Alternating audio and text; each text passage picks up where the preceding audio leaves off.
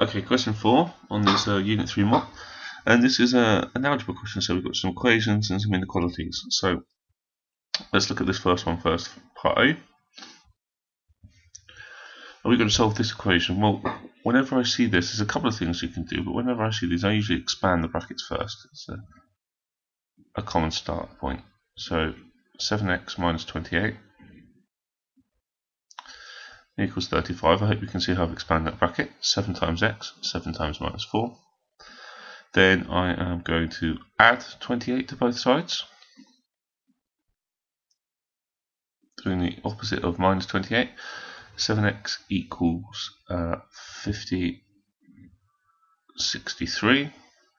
And then I'm going to divide by 7. So x is equal to 63 divided by 7, which is 9. So my answer is 9 for 2 marks.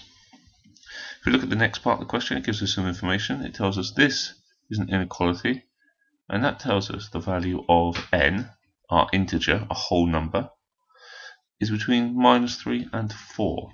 So we need to write down all the whole numbers that are between minus 3 and 4, not including 4, but including minus 3, because we've got this extra little line. So these arrows mean it's between minus 3 and 4, but we're allowed to take minus 3 as well because of the extra little line.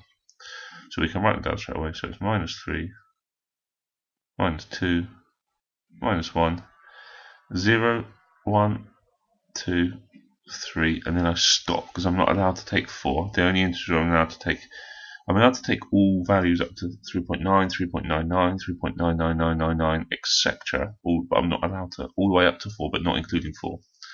But as I'm asked for integers, that only the whole number bit, I can only go to 3. And then at the bottom, we've got to solve an inequality now. Well, basically it works like this. If you've got the inequality of 5x plus, or you had the equation 5x plus 3 is equal to 3x minus 11, I would solve this equation and then I would turn it back into an inequality. So a bit like the one at the top. Let's solve this. Well, I'm going to take away 3x on both sides.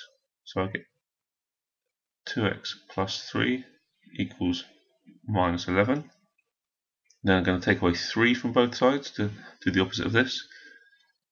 2x is equal to minus 14 and therefore I'm going to halve everything or divide it by 2 x is equal to minus 7 so that would be if I had the answer as an equation but because I've got an inequality I just return the same symbol back that I had before. So x has got to be bigger than minus 7. Pretend it's an equation, solve it with an equals, and then put the same symbol back in at the end. So there's kind of six algebra questions there. Go back over them if you need to.